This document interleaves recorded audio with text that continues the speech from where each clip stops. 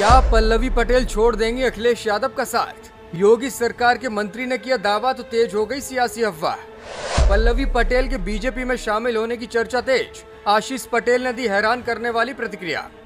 भाजपाइयों के दावे पर भड़क गई पल्लवी। सामने आकर ऐसा कहने वालों की लगा दी क्लास। लोकसभा चुनावों को लेकर बीजेपी और सपा दोनों ही पार्टियाँ पूरी तरह से मैदान में उतर चुकी हैं। और उत्तर प्रदेश में तो बीजेपी ने अपने मिशन 80 पर काम करना शुरू भी कर दिया है। इसी बीच यूपी के राजनीतिक गलियारों में एक चर्चा उठ खड़ी हुई है। वो ये कि समाजवादी पार्टी की विधायक पल्लवी पटेल भाजपा में शामिल हो सकती हैं। सपा विधायक पल्लवी पटेल के बीजेपी में शामिल होने की चर्चा को लेकर अपना दल एस के कार्यकारी अध्यक्ष और योगी सरकार के मंत्री आशीष पटेल ने भी हैरान करने वाला बयान दिया है।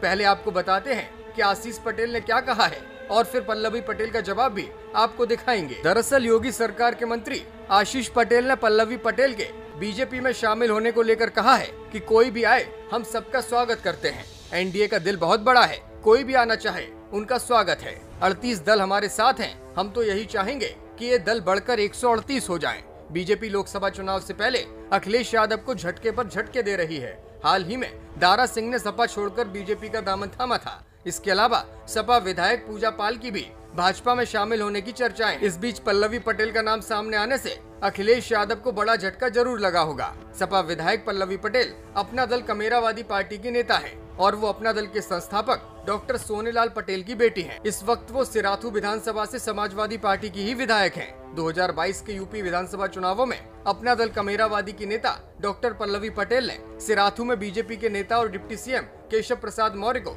7000 से अधिक वोटों के अंतर से हरा दिया था। इधर लखनऊ में उनके भाजपा में जाने की अफवाह उड़ी तो पल्लवी पटेल ने भी सामने आकर भाजपाइयों की क्लास लगा दी। उन्होंने अपने एक इंटरव्यू में कहा है कि भाजपा अक्सर अफवाहों को फैलाकर सियासी लाभ लेने की कोशिश करती है। उनकी विचारधारा किसी भी तरह से भाजपा के साथ मेल नहीं खा सकती। वो सपा के साथ हैं और आगे भी सपा के साथ ही मिलकर लोकसभा चुनाव लड़ने की तैयारी पूरी कर चुकी हैं। उनके भाजपा में जाने की अफवाह किसने उड़ाई? इससे किसको फ़ायदा होगा? ये पब्लिक खुद समझ सकती है। ब्यूरो रिपोर्ट, मीडिया हलचल।